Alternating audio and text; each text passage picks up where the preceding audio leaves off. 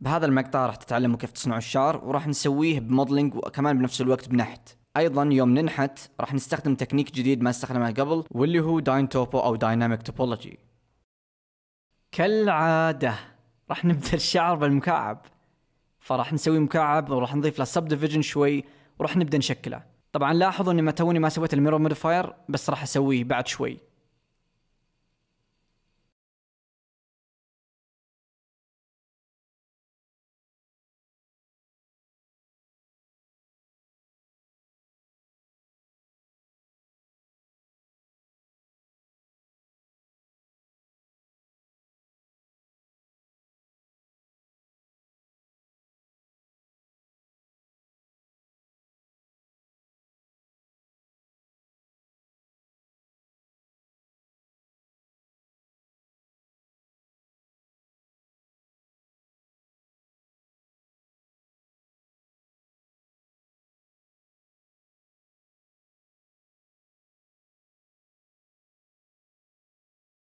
الآن راح أضيف ال loop cut حق ال mirror modifier وراح أحذف الجزء الأيسر وراح أضيف ال mirror modifier وراح أعدل مكانه راح أرفعه فوق ال subdivision جدا مهم هذه الخطوة. عدلوا مكانه جدا مهم. كمان شغلوا clipping اللي في ال modifier واسحبوا ال edges لليمين عشان يندمجوا الآن.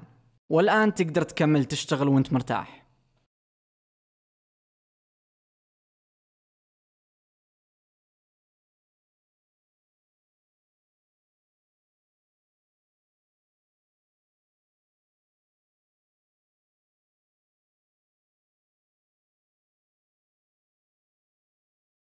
قاعد أحاول أسوي الشكل العام للشعر لأن مباشرة بعد أول ما نخلص الشكل العام راح ندخل في النحت وراح نعدل عليه هناك.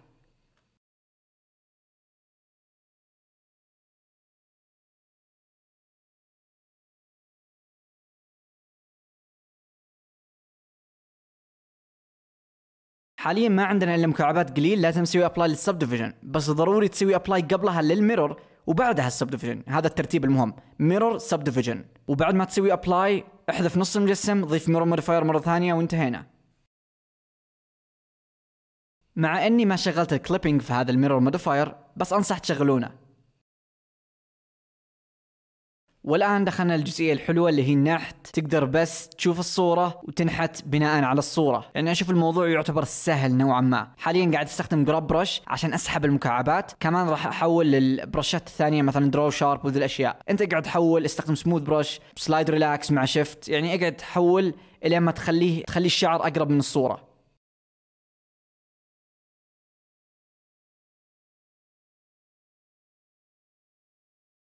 في مشكلة أكيد راح تواجهها وين تنحت واللي هي وأنت مثلا تستخدم ال draw brush وتسحب تسحب المجسم برا راح تلاحظ أن المكعبات تنسحب. يعني الآن وصلنا لمرحلة ما أقدر أسحب ما, ما في مكعبات كافية عشان أنحت. واحدة من الطرق أنك مثلا تسوي subdivide للمجسم مثلا تحط subdivision surface modifier تسوي ال apply وكذا. ولكن هذا مو حل كويس في النحت. الحل الأفضل أنك تشغل شيء اسمه dynamic topology أو يعني يصنع النقاط وأنت تنحت بنفس الوقت. فلو أشغله dynamic topology راح يطلع لك أشياء أضغط okay. راح تلاحظ إنه حولها مثلثات. هنا في إعدادات يمديك تعدل عليها والآن بنجي عليها. الآن لو أنا مستخدم draw brush لو أضغط لبرا تلاحظ إنه قاعد يسحب بس بنفس الوقت قاعد يصنع مكعبات.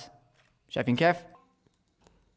طبعا هنا مكتوب relative detail أو يعني يعتمد على بعدك عن الكاميرا. فلو بعدت عن الكاميرا وضغطت خلى المكعبات قليلة. ولو قربت من المكان يخلي المكعبات فيه كثيرة. أو إنك تقدر تحول ال constant detail بس أنا أنصح بال relative أحسه أسهل. الآن أقدر مثلا أزود detail size مثلا أخليه ثمانية ونشوف الآن كيف. شايفين كيف؟ مرة أقوى. فنقدر ننحت أكثر وهذا اللي راح نستخدمه أصلا. بس ملاحظة ال grab brush مثلا ما راح تزود تفاصيل حتى لو dyntopo شغال لأنه مو هذا هو وظيفته. وظيفة ال grab brush إنه يعدل على الشكل لكن ال brushات هذول مثلا inflate لا راح يضيف لك مكعبات. مثلا هذه ال blob راح يضيف لك مكعبات. مشكلة ال dyntopo إنه ما يشتغل مع ال mirror modifier زي ما نشوف فراح أروح ال object mode أسوي له apply ومباشرة من داخل ال sculpt mode راح أشغل ال mirror من فوق.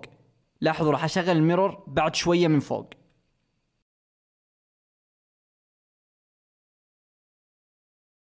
حسيت قوة ال dyntopo مرة ضعيفة فزدتها.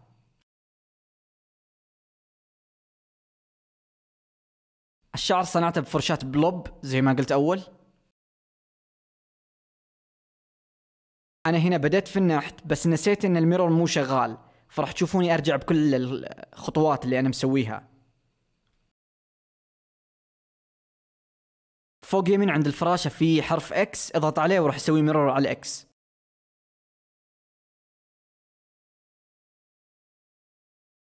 اقعد حاول تغير حجم الفرشاة عشان تجيب أفضل فرشاة لهذا النوع من الشعر. وبعد ما تسوي كذا عشان تسحب الشعر لبرا لأن ال blob brush شوي صعبة لازم تحرك الماوس بحركة دائرية وأنت ضاغط left mouse أو left click هنا شوي طلعت مكعبات كذا خشنة فضغطت shift عشان ينعمها قاعد أضغط بالماوس عشان أزيد التفاصيل.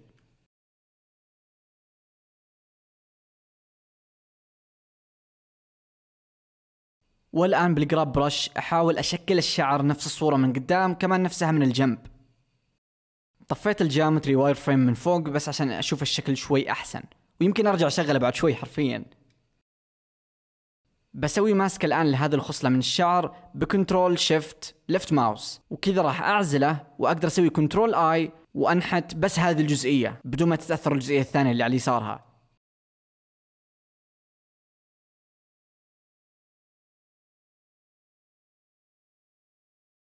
الشعر من الجنب هنا شوي غلط فشلت ال mask وعدلته شوي. من أول وإحنا قاعدين ننحت الشعر من قدام بس ما نحتناه من الجنب. فلاحظتوا إن الشكل شوي غلط من الجنب. وراح نرجع بعدين نعدله. الآن مع ال dyntopo و brush ال blob راح نشغل geometry wireframe كذا راح نقدر نشوف كيف المكعبات تكون. راح نبدأ بالشعرة أو الخصلة اللي في المنتصف. وزي ما قلت أول حركة دائرية وراح تقدروا تسووا الشعر أو ال blob. وطبعا الخصلة مرة مرتفعة فوق فراح نستخدم جراب برش وراح ننزلها تحت.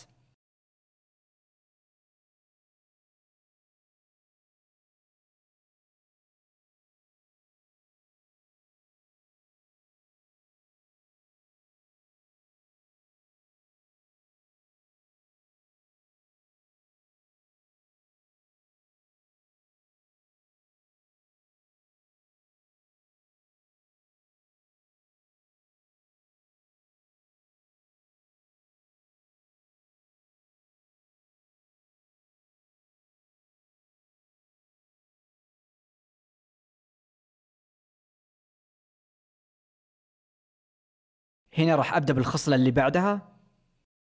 ممكن بعض الأماكن تكون خشنة فراح أنعمها shift left mouse click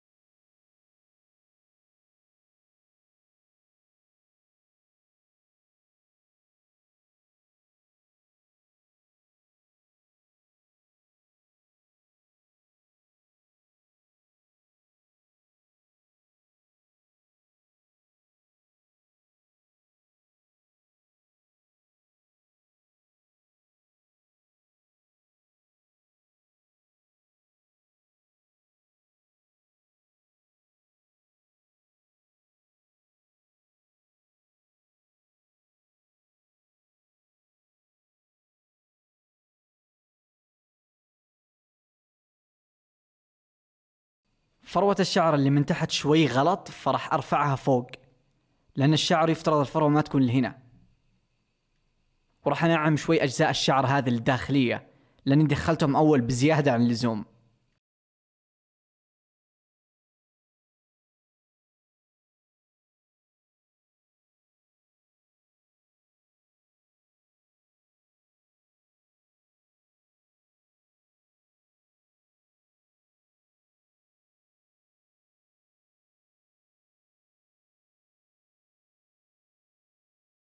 الآن راح أعدل الشعر بناء على الصورة زي ما تكلمت أول. لأن أنا أخطأت للأسف وسويته فقط من قدام ما انتبهت من الجنب.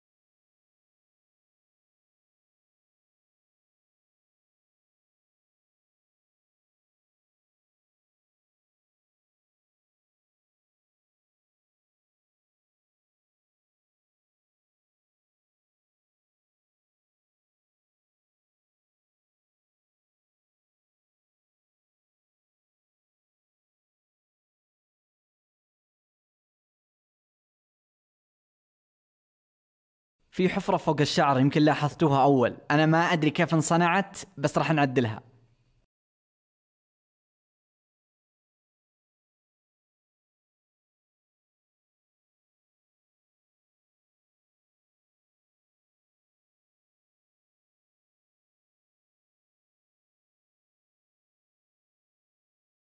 بعدل هذه الحفرة بالإنفليت برش لأن بالنسبة لي هي أفضل فرشاة تعبي الفراغات. الأفضل إنك تطفي ال dyntopo. وبعد ما تخلص ال inflate سوي smooth brush وانتهينا. أو أضغط shift يعني.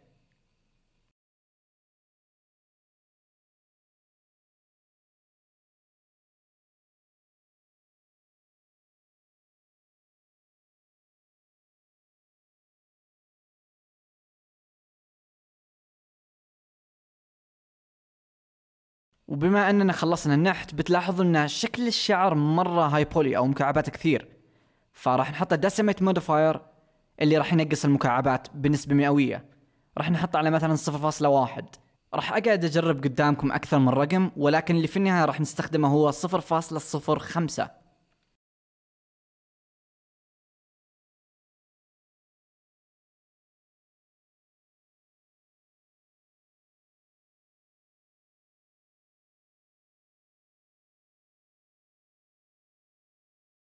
لأن صفر فاصلة صفر واحد مرة قليل راح نرجع صفر خمسة لأنه أحسن. بنسوي للشعر shade smooth وبعدها راح نطفي ال geometry أو ال wireframe ونسوي apply لل modifier أو control A هنا لاحظت إن فك الشخصية غلط بالنسبة للصورة فراح أرفع لفوق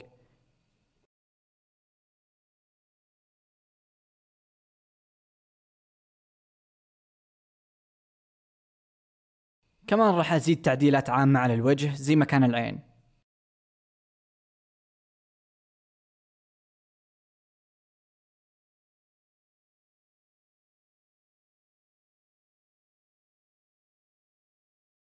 حسيت الأصابع مرة قصيرة فراح أختار اللوبس وراح أرفعهم لفوق.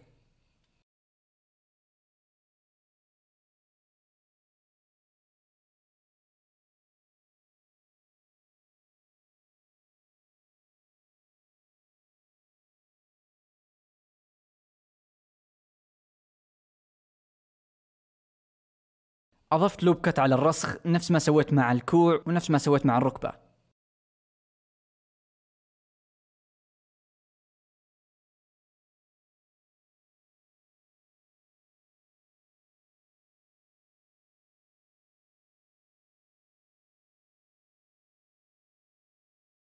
ال decimate modifier يخليك تنقص عدد المكعبات بنسبة معينة. حاليا عندنا 100% من المكعبات. لو أخليها مثلا 0.01 اللي هو 1% زي ما نشوف راح يخلي 1% من المكعبات. فبدل ما أشيل المكعبات يدويا زي كذا أقدر إني أستخدم decimate modifier. ولكن ملاحظة جدا هامة لا تستخدم هذه الحركة على كل حاجة. لاحظوا أن أنا استخدمتها بس على شعر الشخصية. الجسم ما سويت له ذي الحركة والسبب هو شعر الشخصية ما راح يتحرك. فما في مشكلة لو كانت مكعباتها شكلها أبو كلب أو مثلثات وكذا. بينما جسم الشخصية كنت أحتاج يكون مربعات عشان يتحرك كويس. بال description تقدر تحمل رابط الواجب واللي هو فيه أسئلة ممكن تفيدك شوي.